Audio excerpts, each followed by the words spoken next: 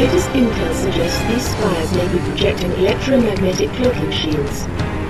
Priority one, pilot. Gotta know what's in there. Affirmative, sir. Here we go. We just lost all power. We're going down. Lock your armor, Spartan! Look carefully at the I really wish I weren't here right now button.